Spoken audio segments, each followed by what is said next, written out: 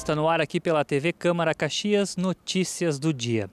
Na sessão ordinária dessa quarta-feira, dia 21 de fevereiro, cinco vereadores ocuparam a tribuna durante o grande expediente. Eloy Frisso, do PSB, aproveitou o espaço para falar sobre a intervenção federal no Rio de Janeiro, além de outros temas de destaque nacional a decisão do STF de substituir a prisão preventiva pela domiciliar para mulheres grávidas ou que tenham filhos até 12 anos foi criticada pelo vereador. Frisso também sugeriu que devem ser realizadas alterações no Código Penal, entre outras ações, para o combate à violência. É, o que a gente já vê hoje é o tráfico cooptando a gurizada, né, até 18 anos, pelo fato de eles não poderem ser presos, né, e agora então uh, empoderam, né, mais um setor da população que pode ser capturado também pelo crime, né. Então uma decisão meia complicada, né, mas eu também coloquei aqui que algumas medidas uh, que deveriam ser tomadas uh, são de exclusiva competência do Congresso Nacional por exemplo, a alteração do Código Penal. O vereador Gustavo Toigo, do PDT, também aproveitou seu espaço durante o grande expediente para falar de outro tema de relevância nacional: a reforma da Previdência. Temporariamente suspensa em virtude da intervenção no Rio de Janeiro, a reforma da Previdência, segundo o vereador Gustavo Toigo, visa apenas atender a interesses do mercado. E nós sabemos dos graves problemas de gestão que tem a Seguridade Social, que não vem só desse governo, vem lá de trás. Há 10, 15 anos nós percebemos alguns problemas de gestão na Seguridade Social. A própria CPI da Previdência agora aponta que ela é superavitária.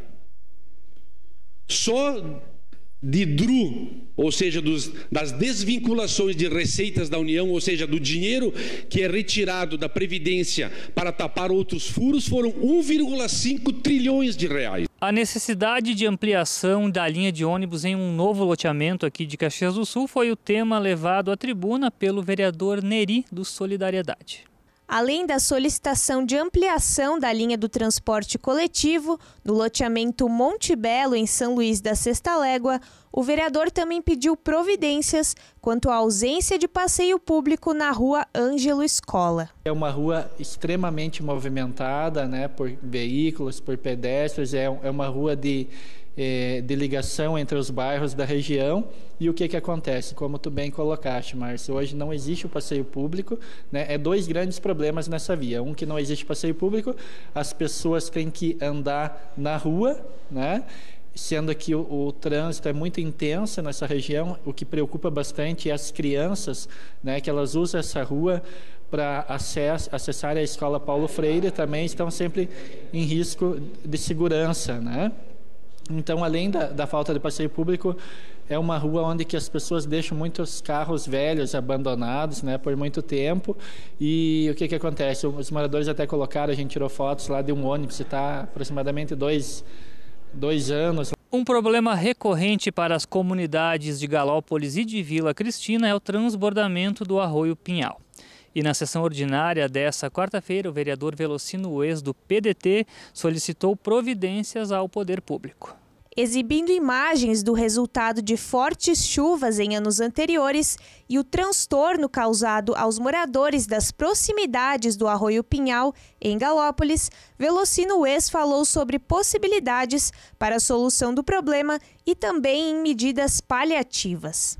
E a gente nunca sabe o dia da manhã as fortes chuvas. Com esses asfaltos que anda, ou, ou, andavam pelo menos ocorrendo na cidade, no futuro ali na frente a água chega muito mais rápido, mais rápido lá em Galópolis e muitas vezes a vazão não dá conta. Então tinha no nosso governo um projeto muito bem andado que depois foi parado. O, o engenheiro Rundimar Chies depois se aposentou, que era um paliativo que a gente tinha feito no nosso governo um estudo que possa ser eh, resgatado, levado adiante, sim que seriam os piscinões acima do posto, um quilômetro acima, que a gente possa conter essa água. Eu acredito que técnicos muito bem responsáveis têm esse conhecimento que se pode, junto ao poder público, junto com nós, enfim, levar adiante para que ali na frente se consiga fazer esta obra.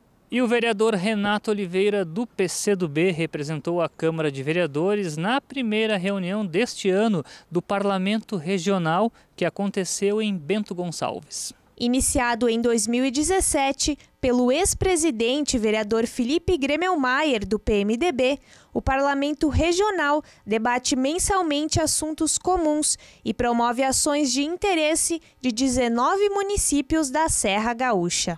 Então, para nós é importante que a casa permaneça aí fazendo esse, esse intercâmbio de, de câmeras, fazendo que isso funcione. E, e, o mais importante é que essas reuniões, essa foi em Bento, outra, essas reuniões nunca foi repetida no mesmo município sempre reuniões, vai ser em São Marcos, vai ser Nova Prata, vai ser Garibaldi, então isso para nós, os vereadores também saber a situação real de cada município. Esta edição do Notícias do Dia vai ficando por aqui. Muito obrigado pela sua companhia.